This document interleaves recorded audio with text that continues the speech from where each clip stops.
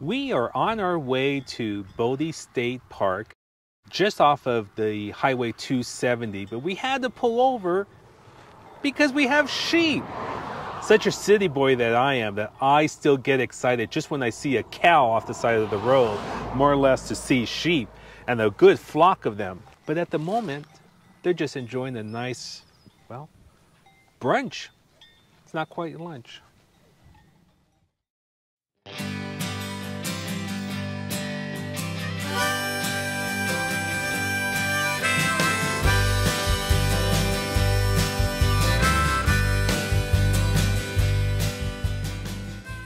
Well, if you guessed it, we made it to Bodie, an old mining town on the eastern side of the Sierra Nevadas, because during the gold rush, uh, most of California's gold was discovered on the western side, which we plan to uh, head over in a few days. But at, right now, since we're still on the eastern side, Bodie uh, had its heyday in the 1870s. About 3% of the buildings still exist. It's, it was deserted after the town went bust, but uh, thankfully the state of California took control over it, is doing its best to do some sort of preservation, not restoration. Let's have a look around. It was steam powered, Will. Look at that. It's a mm. piston. Look at that cable. Oh my God.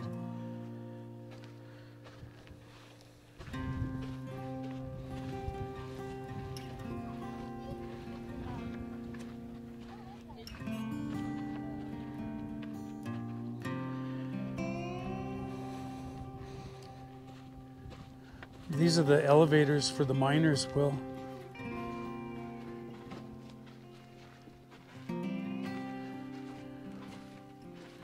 This is what would have taken them down. Yes. Wow. Can you imagine the mindset of the people that lived here in this day? It's historically amazing. All for silver or gold. I'm not sure which one it was. Oh my God. And the mindset of some of these families that were probably so poor that living out here, isolated almost, it was worth a chance of uh, seeking out a living. That must be kind of interesting to be a park ranger. You're in a nice area. It's, it is beautiful country, and you get to sleep in a historic place where some family who was trying to seek out a living was had their family. I think it's pretty cool. And right here, right across the street, is where the town came to worship. I believe this is a Methodist church. Uh, obviously, you cannot go inside because they want to keep as much damage and wear as possible.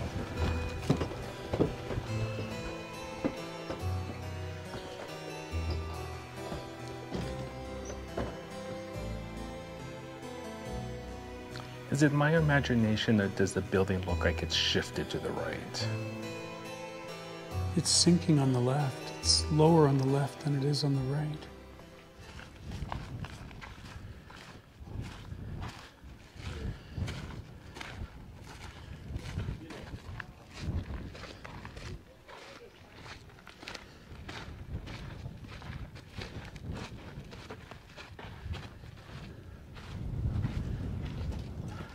Hello, little fella.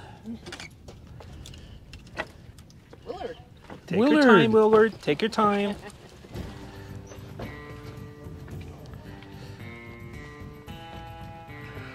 Oh. Oh, Steve, I'm so glad we got to come back here. Look at the layers of linoleum. My goodness. That's good to see. They wanted to create a home. Layers Wallpaper. of layers of wallpaper. Wow.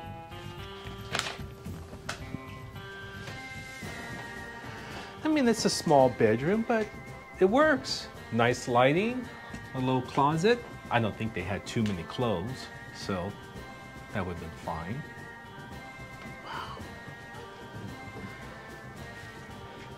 Nice fireplace to keep you warm here Yeah. as you Mm. ask each other, how was your day? They must have had like a, the exhaust for a pipe, like a stove, standalone stove. Hmm, my God, Will. You know, this is charming. Oh, here. Those are great stoves. Is that door open? Look at the layers of linoleum on the floor, Will. Must be the bathroom. Oh no, it's the kitchen. I take it back there must be like a little pantry mm-hmm. or their outhouse.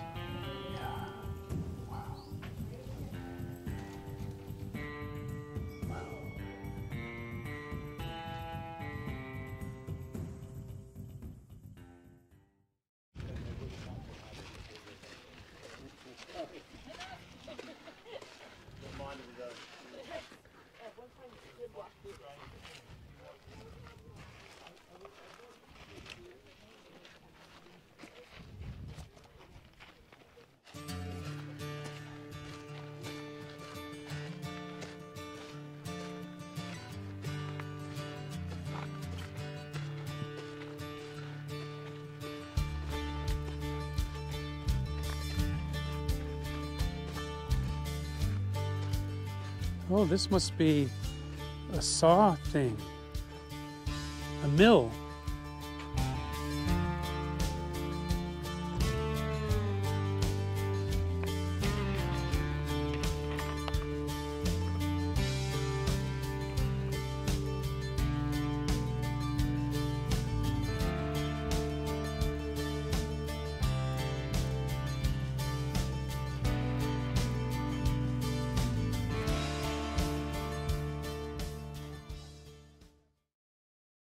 Though only 3% of the town still exists, I think this is a good example to show you that the, it wasn't just single men who came here to work the mines. They had a family, wives, children, they built schools, and I think they really did a good job as with the resources they have around around here to create as best quality of life they can to provide for their families. It's a cute house. I would take it. Fixed up, of course. This is Mr. Cameron's house, and Mr. Cameron came from Canada. So it wasn't just people from California or the Midwest that wanted to strike it rich. It crossed international borders. Let's have, see if we could have a peek to see how his standard of living is.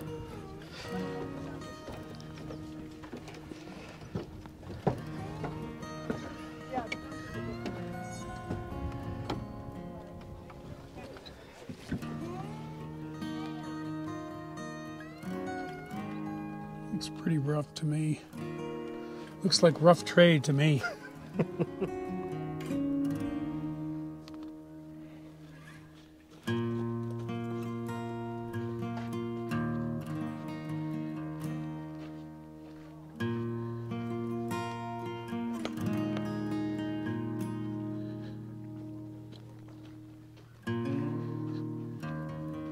See if we can take a little peekaroonie through this hole. Let's hope nothing jumps out at me.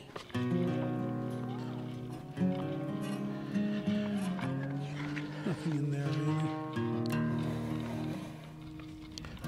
How about this one?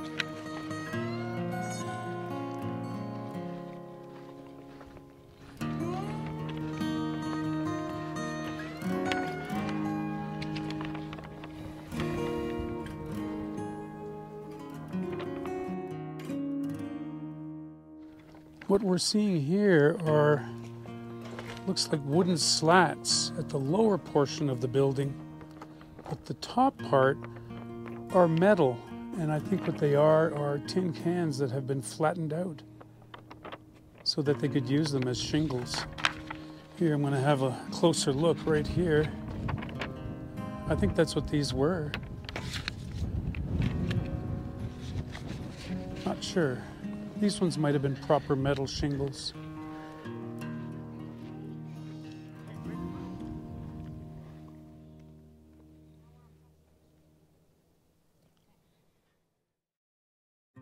I did talk that Bodie does have uh, a lot of families living here, but there was also many, many single men just trying to earn a living, send money back home, and it was a rough life for them. And I'm sure they were tired, depressed.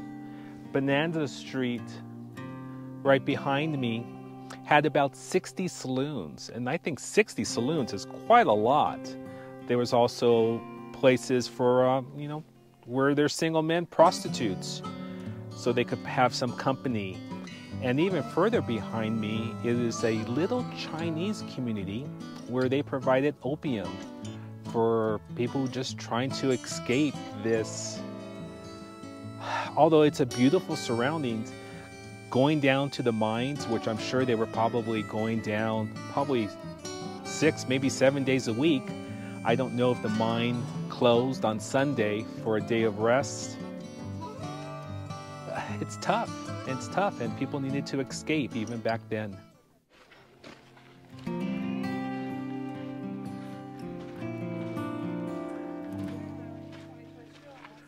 A parking garage.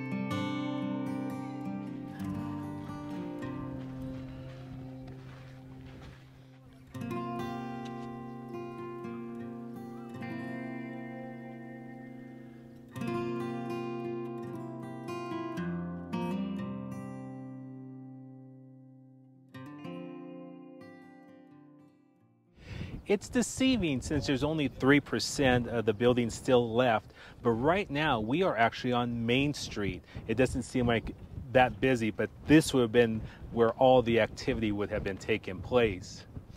And as a community, people got married, had children, there's a schoolhouse, and people died. And right here is where the undertaker is at.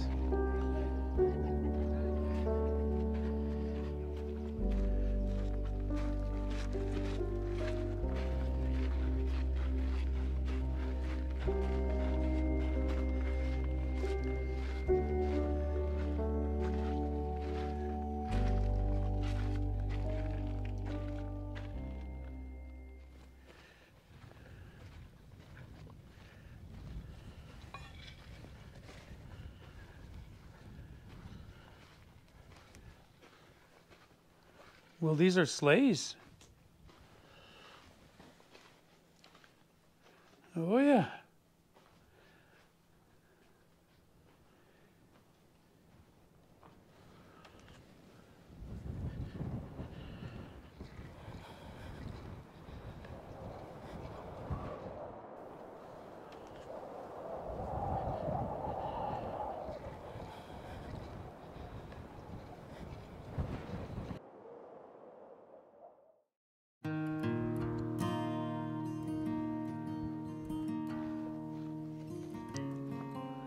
Yes, hydroelectric building.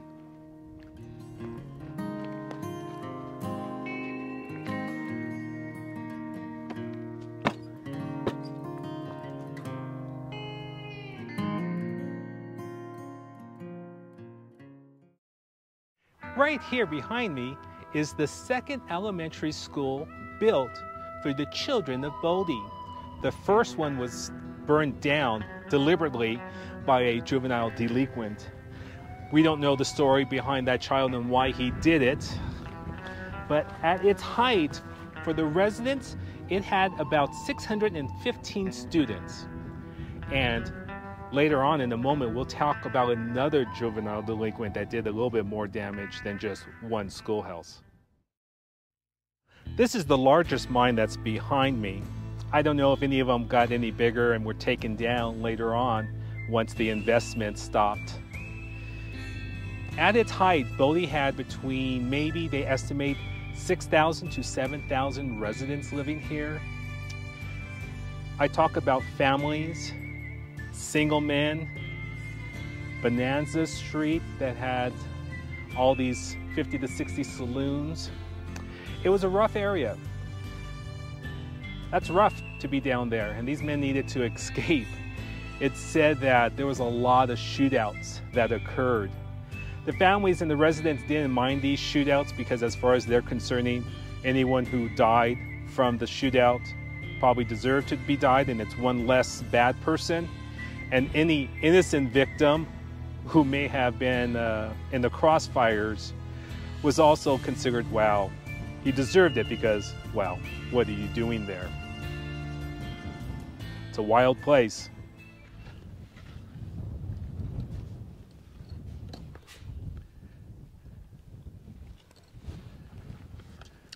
Just a shell.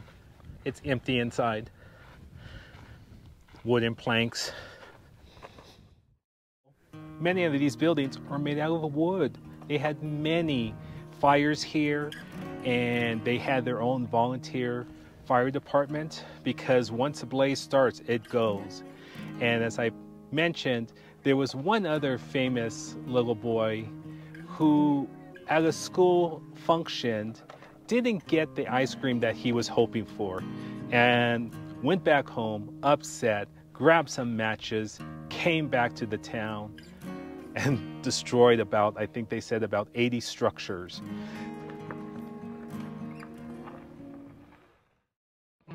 I talked about saloons, gambling, prostitutes, but where the real criminal activity took place, here's the bank for Bodie, built in 1890. The vault is what the only thing that um, still remains. Uh, the bank itself was made out of wood and burned, but uh, the precious uh, vault did remain. And despite the valuable gold that was taken out of here, the amount of the population that did live here, and I'm sure there was a lot of unsavory characters who were just coming in and out of the town, the bank was never robbed.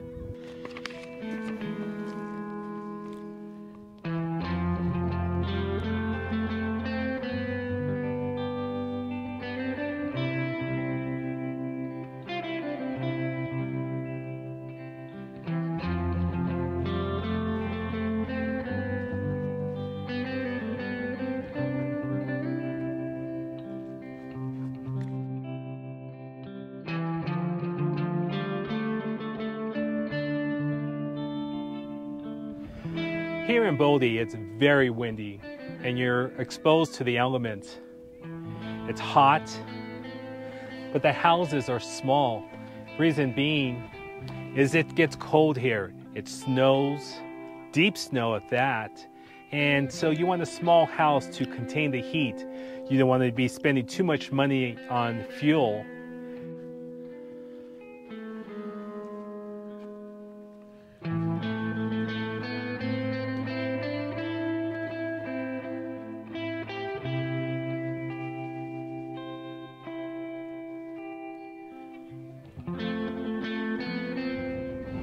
If you have enjoyed this episode and believe we've earned your subscription, please don't forget to subscribe and hit the like button. Thank you so much for watching.